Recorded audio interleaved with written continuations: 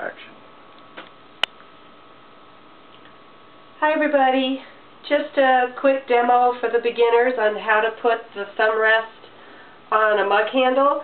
These mugs were turned, handled, and the uh, shell was put on probably about an hour and a half ago.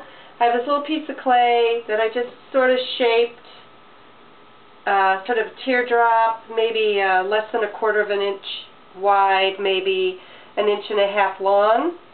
And I just put it on that part of the handle where I scored it and slipped it.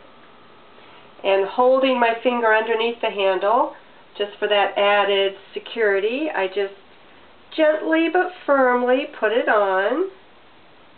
You want it to kind of stick.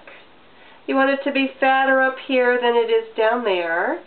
And then you give it a, a a swipe so that it actually has the feeling of your thumb. That's kind of important.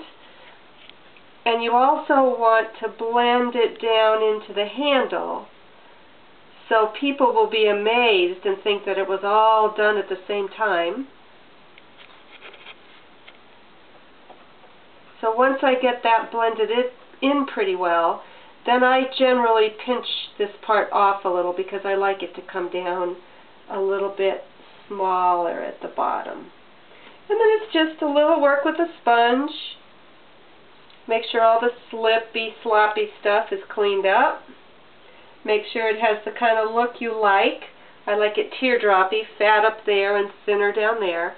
And then the very last thing I do is with a wet thumb, to me it's important, I give it an actual little bit of a, oops, I give it a little bit of a thumbprint because um, it just makes it feel very natural that way.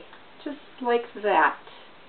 Nice and smooth, gives it a little ridge, and that's how I attach my thumb rest. Thanks for watching.